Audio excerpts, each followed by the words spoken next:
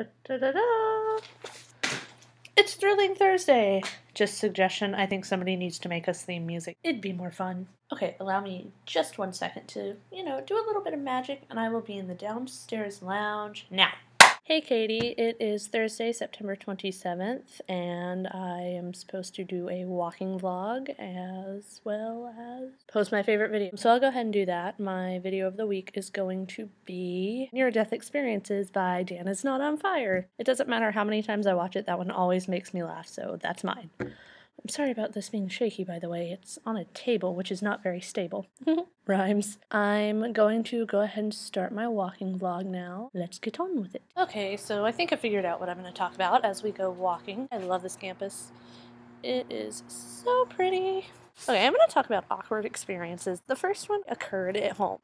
My RA, his name is Robbie and he has this lovely bowl on his nightstand of candy in this jar. And what everybody was waiting for were condoms, because, you know, by putting candy in the jar, it makes it slightly less awkward. And I was reading the email he sent out, and as I was reading this, my mother was sitting beside me.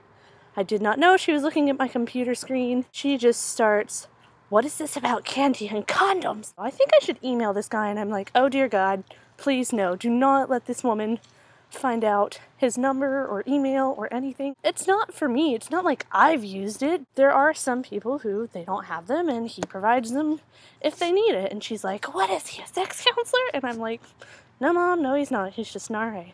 We got into this big to do about it. Yes, I did just say to do. Oh, Nate is gone today. His truck is not where it's supposed to be. The second awkward experience that I've had came from it was my fault mostly completely.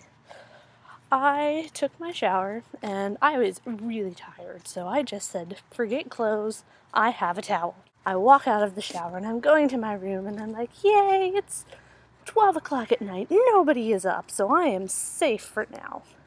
And I was, until my friend Abby came out of the lounge. She started talking to me. I'm just standing there in my towel, going into my room, or trying to, anyways. We're having this conversation, just you know, how was your day? How were classes? Oh, everything was fine. It's all good. And then, let me see, who can we compare him to? Hmm. He was like Damon off of Vampire Diaries, good looking, just comes out, and I'm like, oh my god, are you kidding me? And I'm just standing there in a towel. I just want to disappear into my room. And then he just stands there and stares the whole time. And I'm like, can I please stop being naked? And then Abby finally quits the conversation. I, like, rush into my room.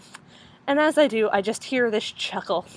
And I know that it's hot guy. He now thinks that I just walk around in a towel, which for some people is cool.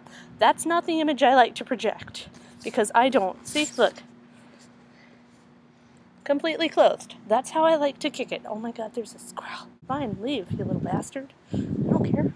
So tell me, have you had any awkward experiences yet? Anything involving no clothes and just a towel, which are always the best, or maybe condoms with your mother? Okay, out of context, that sounds really bad. Not what I meant at all. Don't forget to go watch Near Death Experiences by Dan is Not on Fire. No matter how many times you've seen it, that shit is still funny. So, bye, and I will see you tomorrow. I was editing this and realized that I basically have no explanation of who Nate is. He's the guy who lives down a floor and down hallways. He's really nice, super sweet, loves to cook and hunt and fish and all sorts of stuff. So, yeah, that's who that was when I was like, oh my god, his truck is gone. So, I'm watching my video, and the more I watch it, the more I hate it. But, you know, I can't really do anything about it for now because I need an actual camera that I can take out and work with if I want to go watch people do cartwheels or whatever. It would be easier for me to do a walking vlog if I had an actual camera, but I don't. So for right now, I'm sorry about the quality of my videos. I really hope they'll improve soon. Also, I just I need more people. Like your video was so funny yesterday and I loved it. Probably because you had somebody else in there who was interacting and making it funny. I need to find somebody that I can do these with, and hopefully after that they will get much funnier or just get better. So I, I apologize. I'm sorry. Bye.